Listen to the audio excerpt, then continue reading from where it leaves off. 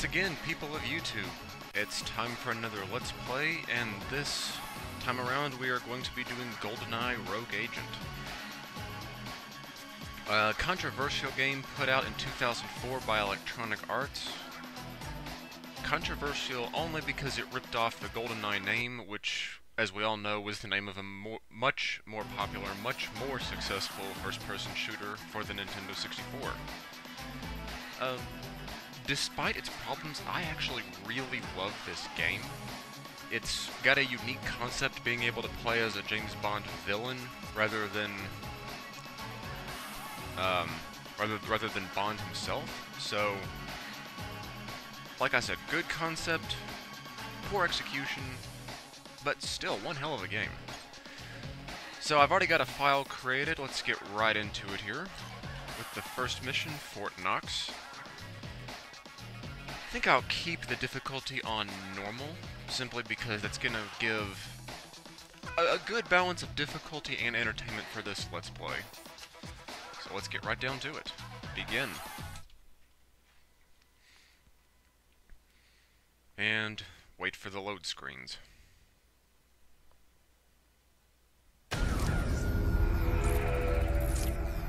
Three years ago, while on assignment, the agent was severely wounded in an encounter with Dr. No, and subsequently lost the use of his right eye. Consumed with vengeance, he frequently resorts to violence and brutality, and is no longer fit for service with MI6.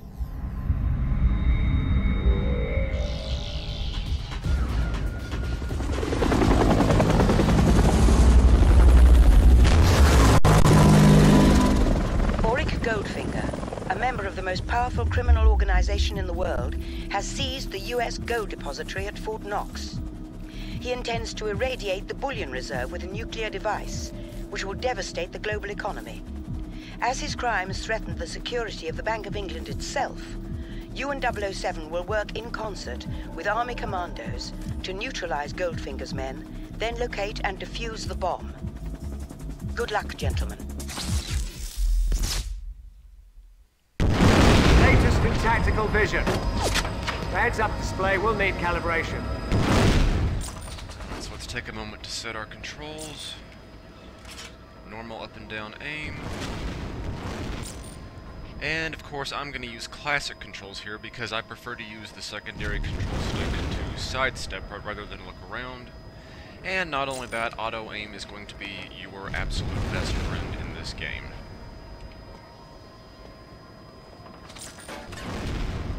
Let's get right into it. Here we go. Goldfinger's taken his Midas fixation too far this time. Follow my lead and we'll get the job done. Approaching the gold reserve.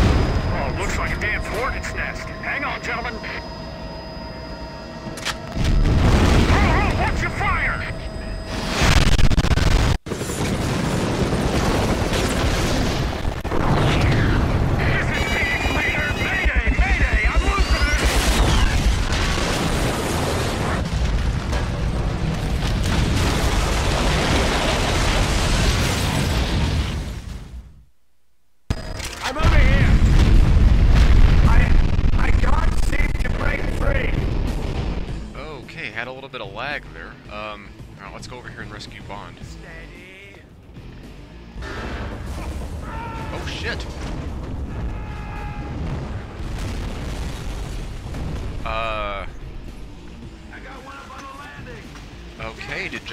Just die here? Um, Alright.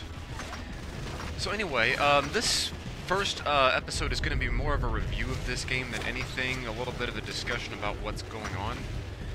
Um, first of all, I have to say that I really like the level design here because it more or less holds true to the design of Fort Knox in the movie Goldfinger.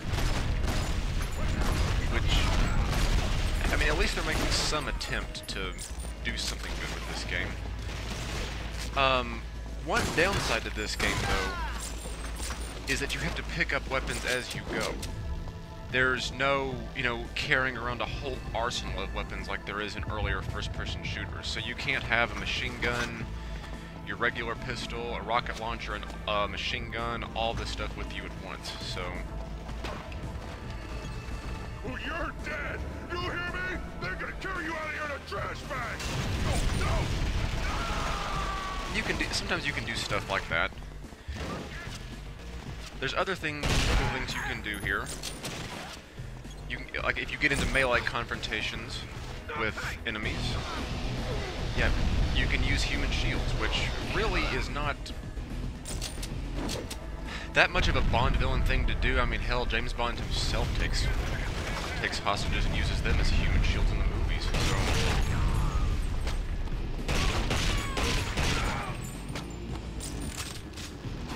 Like I said, only being able to carry around certain weapons at a time. If you've got a, weapon, a weapon like this, it's a two-handed weapon, so you can't pick up a secondary weapon or use your grenades at this point. Which is okay. I mean, you uh, there's a lot of sections in this game where you're really only going to need a couple of weapons anyway. So let's knock this guy out.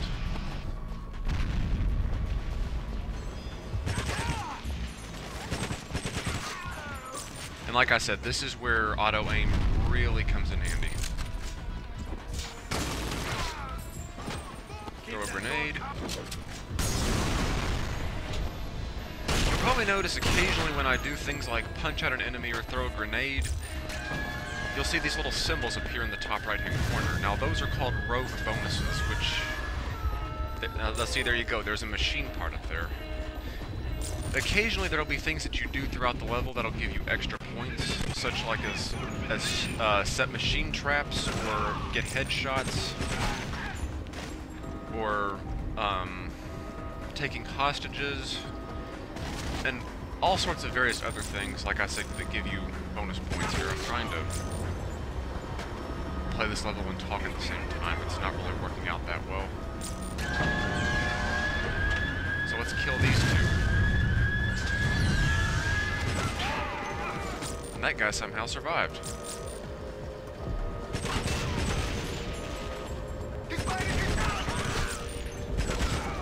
Alright, let's get these guys out of the way.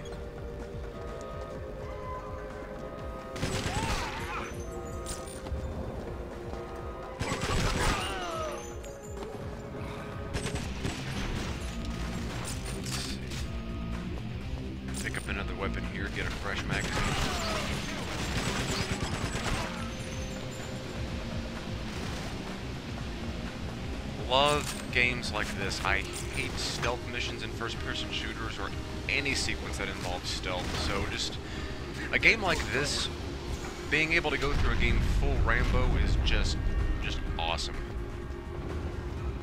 We've confirmed that Special Forces have penetrated the facility. You must reach the vault before the bomb detonates.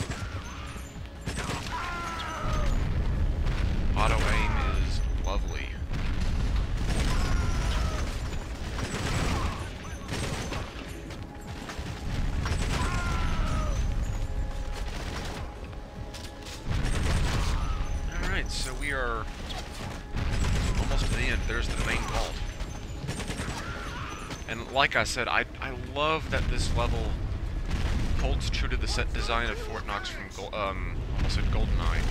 From Goldfinger, it's uh, really brilliant work on EA's part for holding true to the films.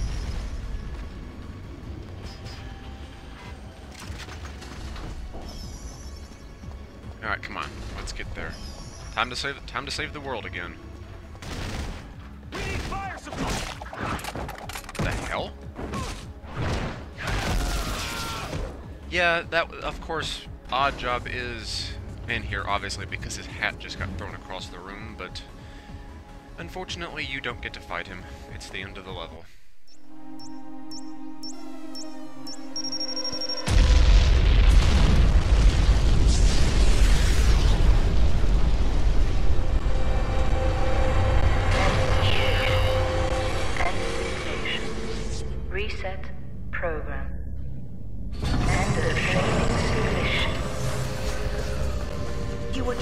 Responsible for the death of 007. Your tactics are inexcusable. There's no place at MI6 for an agent like you. You're dismissed.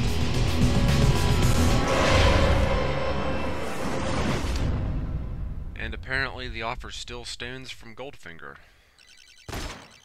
Foreshadowing much? Alright, so 75%, 76% eliminations, excuse me, that's decent. 63% accuracy, that's wonderful.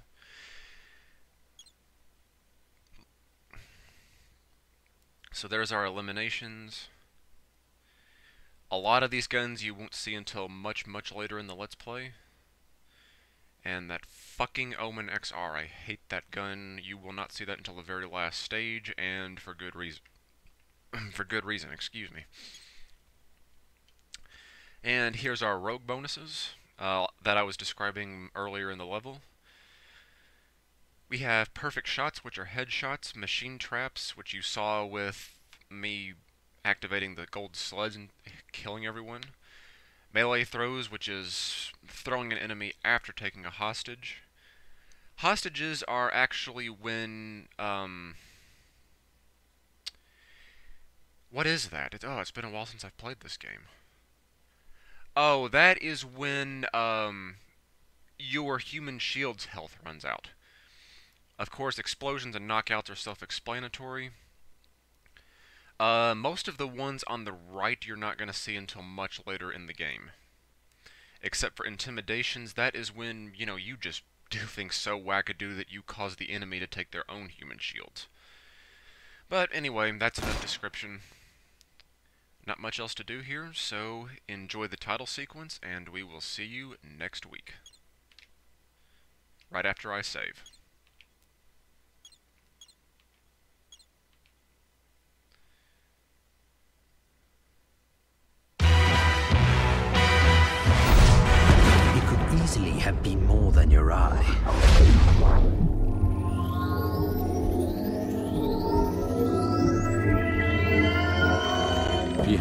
Common enemy. Dr. No has broken ranks with our organization. He must be eliminated. Eliminated. I declare war on Goldfinger. War, war, war.